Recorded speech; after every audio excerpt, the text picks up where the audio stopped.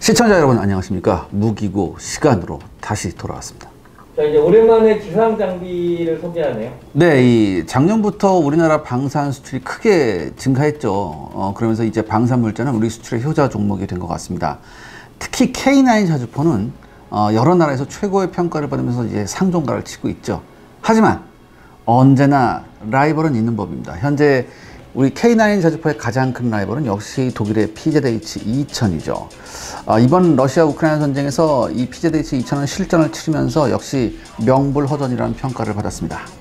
따라서 오늘 샤레 군사연구소에서는 어, 링스 장갑차와 하이마스에 이어 방산무기 라이벌 제 3탄 독일의 PZH 2000 자주포를 알아보는 시간을 갖기로 하겠습니다.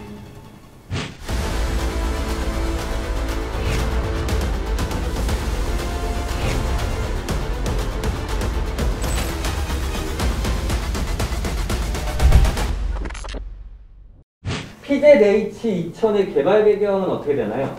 네, 이 PZH 2000 자주포는 1968년부터 운영하던 어, 미국의 M109 자주포를 대체하기 위해서 1972년 나토가 공동으로 개발하려 한 SP70 계획에서 시작이 됩니다. 음, 당시 각국은 자국 업체 중에서 주 계약 업체를 선정해서 어, 개발 계획을 진행을 했죠. 근데 어떤 장비건 여러 나라가 섞이면 어떻게 됩니까? 당연히 서로 이해관계가 충돌하잖아요. 그래서 잘 되는 꼴을 못 봤어요, 제가. 그러니까 여기에 거의 뭐 4억 달러 예산이 투입됐지만 결국에는 1986년에 이 SP70 계획 자체가 폐기가 됩니다. 돈만 날린 거죠. 이 여러 나라들이. 그리고 당시 독일도 이 SP70 개발에 참가를 했었어요. 그러니까 독일은 어떻게 생각했냐면 이 레오파드 1 전차 차체에다가 음, 155mm FH70 견인포를 탑재하는 그런 계획을 진행했었죠. 근데 이게 나토 내에서 보면 독자 개발을 추진하던 다른 국가가 이걸 찬성할 가능성이 거의 없었어요. 왜 너네 차체 쓰냐 뭐 이렇게 하겠지. 그래서 결국 독일도 어, SP70 자주포 개발 취소가 된 이후에 독자적으로 21세기에 적합한 새로운 SP2000 자주포 개발 계획을 진행합니다. 아, 당시 포병의 운영 환경을 살펴보면요. SP2000 자주포의 요구 성능을 결정하게 된 이유를 짐작할 수 있습니다. 그러니까 여러분들 이 1980년대 포병은요 대포병 레이더를 사용하고 있었어요. 그러니까 이때부터 대포병 레이더가 이제 본격적으로 나오기 시작했죠. 그리고 장래에는 대포병 레이더보다 정확하고 신속한 무인기 같은 정찰 장비가 대량 도입될 것이라고 정확히 이 회사는 예측을 하고 있었습니다. 때문에 진지 변환을 위한 신속한 사격 능력과 기동력이 매우 중요한 자주포의 성능으로 자리 잡기 시작하는 그런 시기죠. 어, 따라서 고정 진지에서 장시간 사격이 아닌 적의 counter attack을 회피하면서 사격과 진지 변환을 2, 3분 간격으로 계속할 수 있는 자주포 시스템의 개발이 시작된 겁니다. 음, 독일군이 PzH 2000 자주포에 요구한 성능은 다음의 7가지였습니다. 첫 번째, 탄약 보급 없이 계속 사격이 가능하도록 차 내에 60발의 포탄과 운용 장약을 탑재할 수 있는 적재 능력. 두 번째는 10초 burst 사격 시 3발, 1분 최고 발사 속도 8발, 3분 20발의 발사 속도를 요구하였고요. 이 요구 성능을 만족시키기 위해서 자동 장전 장치를 장비해야 했죠. 세 번째는 적 포병보다 유리한 포격전을 위해서 로켓 추진탄이 아닌 일반탄으로 최대 사정거리 30km를 확보할 수 있어야 했습니다. 네 번째는 MBC 방어 능력, 즉 화생방 방어 능력이 있어야 됐고요. 다섯 번째는 레오파드 전차와 동등한 기동력이 있어야 됐었습니다.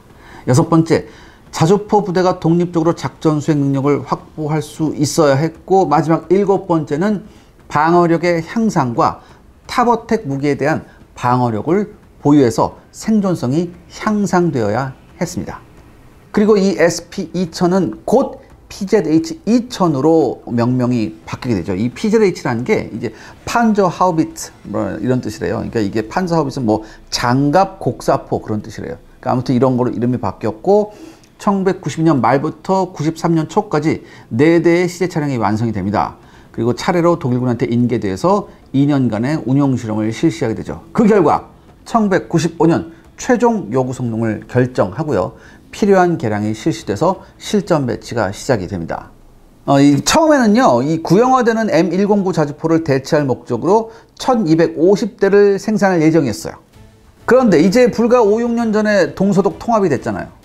그리고 이제 냉전이 지나가니까 어떻게 됩니까? 모든 나라가 겪는 일, 군비가 확 줄어들었죠. 그러니까 이 1250대는 무슨 개뿔. 최종적으로 185대만이 생산이 됩니다. 뭐 그 다음에 뭐 찔끔찔끔 또 나오긴 해요. 아무튼 이 PZH 2000의 생산은 크라우스 마파이사가 주 계약 업체지만요. 라인 메탈사가 핵심 참여 업체로 시스템의 50% 이상의 지분을 가지고 작업을 분담했습니다. 이 라인메탈사는 자주포의 차체 및 52 구경장 155mm 주포 등을 어, 공급하게 됩니다. PZH 2000의 특징은 뭐가 있을까요? 아, 먼저 차체부터 한번 보겠습니다. 이 PZH 2000은 다른 자주포와 마찬가지로 차체 전면에 엔진, 후부에 대형 포탑을 탑재해서 넓은 공간과 안정성을 실현했어요. 보통 이 자주포가 이 front 엔진 방식을 채용하는 이유는요, 어, 차체 후부의 공간을 효과적으로 사용하고 포탄과 장약의 공급이 용이하기 때문입니다. 아, 실제 전차 차체를 채용한 자주포의 경우에는 포탑이 필요 이상으로 대형화되거나 포탄과 장약의 탑재량이 감소하는 그런 단점이 있죠. 이 PZH 2000 자주포는 차체와 포탑의 구성품은 모듈 구조를 채용해서요. 고장 시 수리와 교환이 굉장히 쉽습니다. 또한 장내 새로운 장비의 장착에도 유리하죠.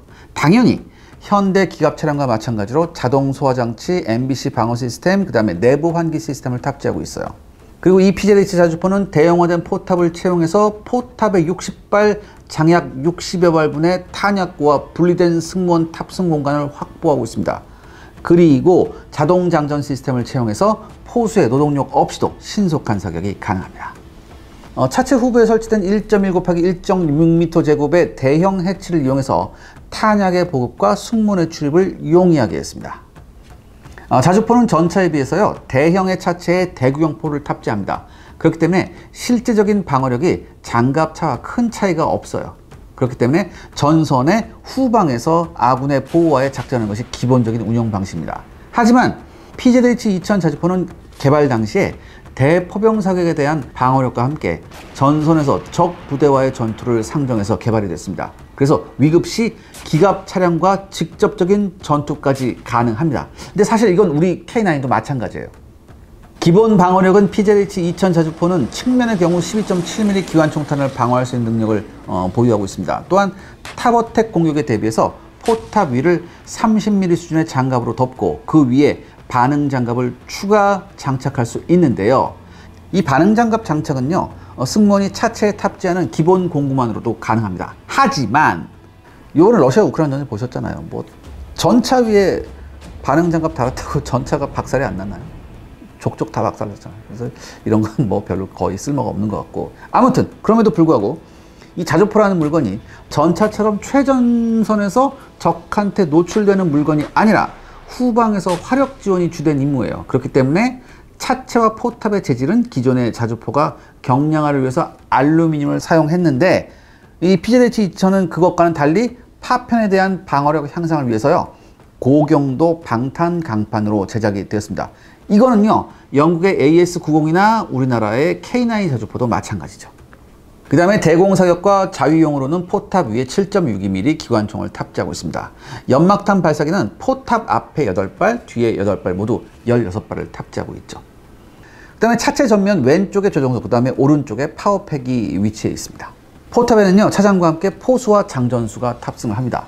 어, 조종석에는 3개의 periscope가 있어요. 그래서 가운데는 영상 증폭식 암시 장비로 교환이 가능합니다. 그리고 계기류는요, 어, 인체공학을 도입해서 굉장히 단순화했습니다. 그리고 핸들 위에는 엔진 연료를 포함한 차체의 상태를 나타내는 다목적 디스플레이가 상황을 표시하고 있죠.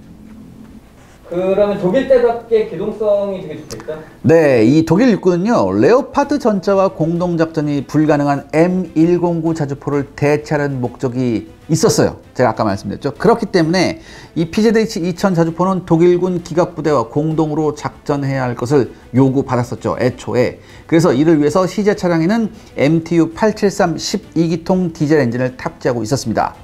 그리고 생산형은요, 그 체적이 30% 정도 감소한 993.6마력짜리 MTU 881 8기통 디젤 엔진을 탑재하고 있죠. 이 엔진과 이 자동 변속기가 통합돼서 부피가 작으면서 고장이 극히 적은 신뢰성이 높은 power pack 시스템이 탄생한 겁니다. 이 독일제 power pack 하면 여러분 뭐 잘 아시죠? 아, 이거 세계 최고입니다. 알아줘요. 그러니까 우리나라도 K2에다 쓰고 뭐 K9도 쓰고 그렇죠. 그러니까 동일한 엔진 우리 K9도 써요.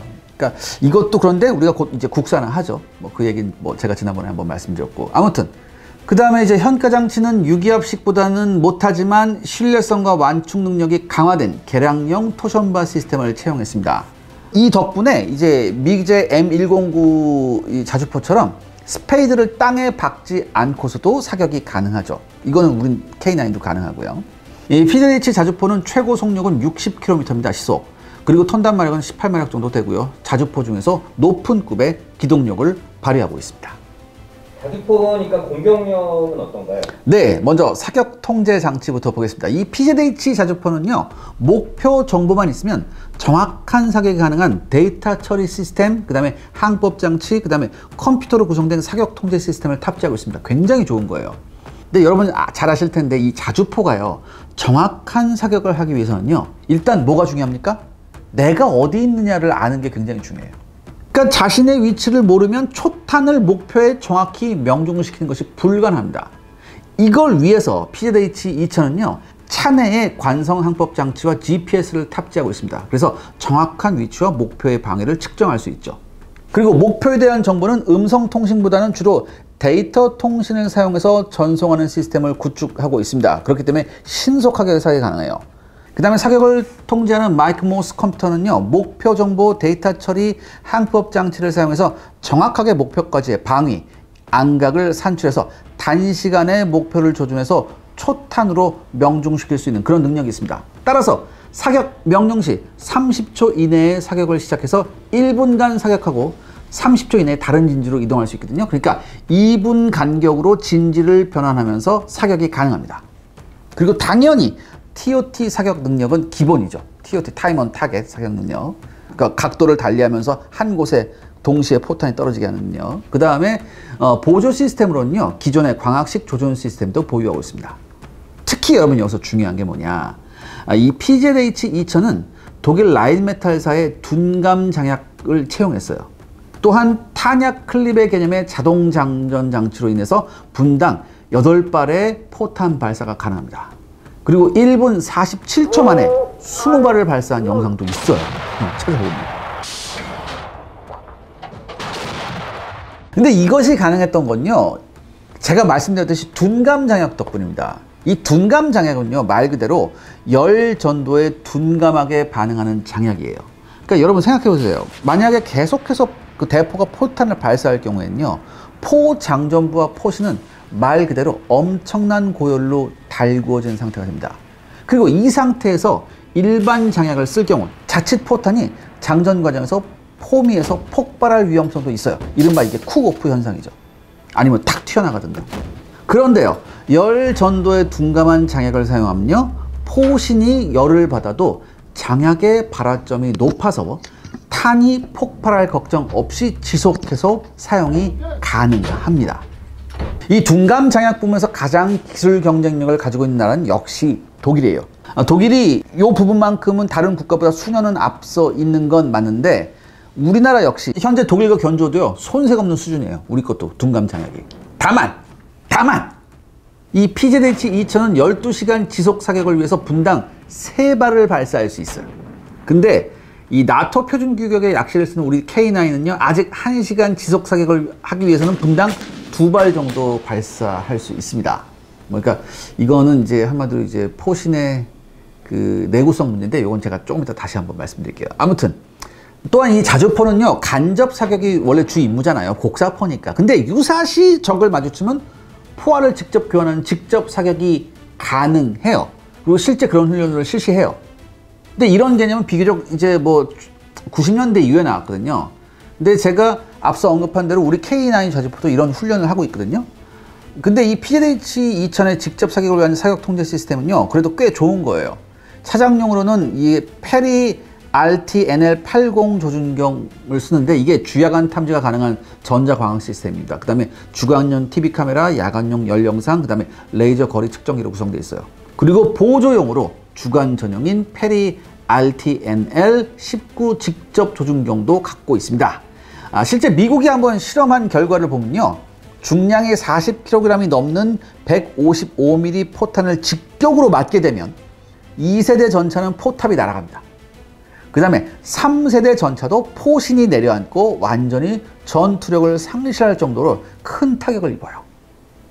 그렇게 얘기해 주시니까 네. 주포 화력이 어느 정도 될수 있다 궁금하세요. 네, 이 PZH 자주포는 어, 독일, 미국, 영국, 이탈리아의 신형 자주포 협정으로 개발한 52 구경장 155mm 주포를 탑재하고 있습니다. 이 자주포는 장포신을 채용해서요. 155mm 표준탄으로 30km의 사정거리를 확보할 수 있었죠. 그 다음에 사거리 연장용 로켓 추진탄, 보통 이제 랩탄이라고 하는데 요거를 사용할 경우에는 사정거리가 40km까지 나와요. 그리고 제가 말씀드렸죠. 이게 발사 속도 높이기 위해서 자동 장치 장치에 채용했다고. 근데 당시 이 대구경포의 경우에 포신을 이제 부항각을 수평으로 한 상태에서 장전을 했었어야 돼요. 예. 그러니까 이게 자동 장 전 장치가 장전을 하려면 포신이 이게 수평이 돼야 된단 말이지. 근데 이 PZH 2000의 부양각은요, 마이너스 2.5에서 플러스 65도 여기까지 이제 움직일 수 있거든요. 그리고 자동 장치는 안각 상태에서도 장전할 수 있어요. 그렇기 때문에 고속 발사가 가능한 거죠. 그리고 이제 60발의 포탄과 60여 발분 장약 중에서 자동 장전 장치에 장착된 32발의 포탄을 신속하게 사격할 수 있습니다. 그러니까 이 자동 장 전 장치가 혼자 다 하니까 이 포스 위에 두 명의 장전수가 있다, 있다고 했잖아요. 얘네는 뭐 하냐면 신관 입력하는 작업하고 그 다음에 사격 시스템에 조작하고 데이터 입력 같은 거 그런 작업을 해요. 시청자 여러분들의 구독과 좋아요는 영상 제작에 정말 큰 도움이 됩니다. 여러분들 부탁드리겠습니다. 구독과 좋아요.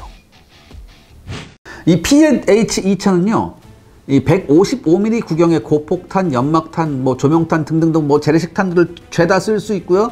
155mm 카고탄이나 155mm 스마트 155 유도포탄 등을 사용해서 기갑 부대를 정확히 공격할 수도 있습니다. 이른바 상부 공격 지능탄이죠. 이 특히 스마트 155 유도포탄은요. DM702라는 제식 명칭을 가지고 있습니다. 어, 독일의 DL사가 라인메탈하고 합작해서 이제 개발한 포탄인데 낙하산이나 자세 저용 로켓으로 감속한 뒤에 포탄 떨어지는 걸 감속한 뒤에 탐지기 등의 센서로 탐지해서 상부를 공격하는 방식이에요. 이 탄에는요 다중 모드의 센서를 보유하고 있는 지능 자탄 두 발이 내장이 되어 있습니다. 원래는 세 발이 내장될 계획이었는데 이게 세 발로 하니까 위력 증대가 안 된다. 그래서 차라리 두 발로 큰 걸 해서 위력 증대하자. 그래서 두 발로 축소했어요. 다만 이게 나름 이제 집속탄의 성격이 있거든요.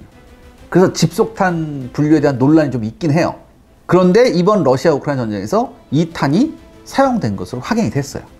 아, 또한 독일 육군은 나토에서 처음으로 라인메탈사가 개발한 MTLS 또는 DM7이라는 모델명의 모듈식 추진 장약 체계를 도입했습니다.